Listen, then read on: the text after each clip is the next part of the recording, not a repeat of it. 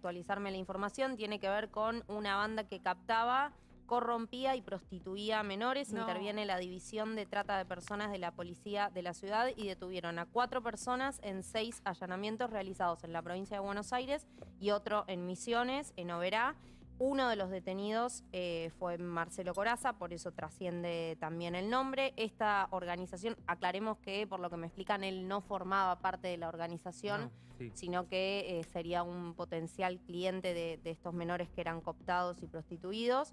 Eh, lo que explica esta última parte que me pasan es que el cabecilla de la organización captaba a los menores, los corrompía y los insertaba en el mundo de la prostitución, ofreciéndolos a quienes consumían eh, para obtener un rédito de ella, que, se- que esta banda se desempeñaba en el norte del país y en la provincia de Buenos Aires y que las víctimas eran traídas con la excusa eh, de un viaje familiar al domicilio de la madre del líder de esta organización que estaba en General Rodríguez. Mm.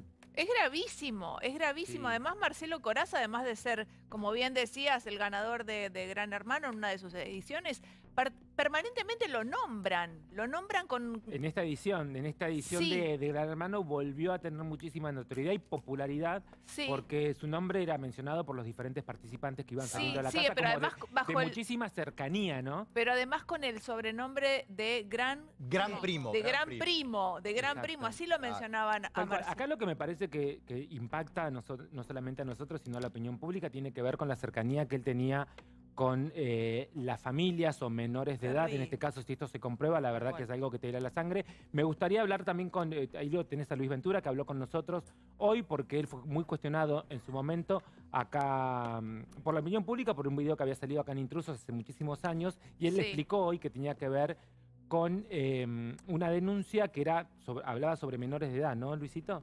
A ver. Sí, yo No puntualmente... puntualmente de la sexualidad. Sí, eh, eh, trataron de envolver todo. Viste que eh, cuando una denuncia es puntual y es concreta, que va direccionada hacia un objetivo, tratan de, este, digamos, diezmarla, eh, contradecirla, cuestionar a quienes la traen.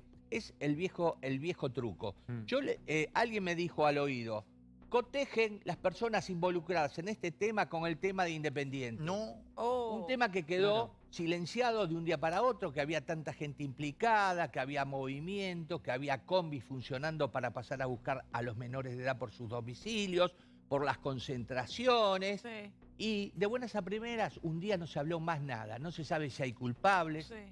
Si quedaron liberados todos, si esa causa sigue, si se cerró, si la van a... Bueno, tal vez a partir, a partir de esto se reactive. Ojo, Vos decías... ojo, porque hay, me parece, puntos de conexión. A ver, Damato. Hay puntos de conexión. eh, hoy cuando, cuando iban hablando, viste, como decir, pero yo esto ya lo escuché, Claro. esto ya lo escuché.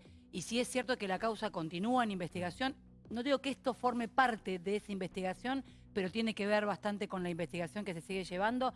Muchas veces uno no sabe, eh, porque la investigación se mantiene callada. En su momento hubo un secreto de sumario muy violento. ¿Ustedes se acuerdan que no se podía decir una palabra y no trascendía Sí. una Sí. palabra? Es cierto. Bueno, Pero Cari, cuando dejo- empezás a hablar, empezás Sí. a atar cabos y empezás a darte cuenta que no era solamente eh, la pensión de Independiente, eran muchas Totalmente. pensiones de clubes de fútbol Mm. vulnerables, chicos vulnerables, de las cuales se aprovechaban de ellos.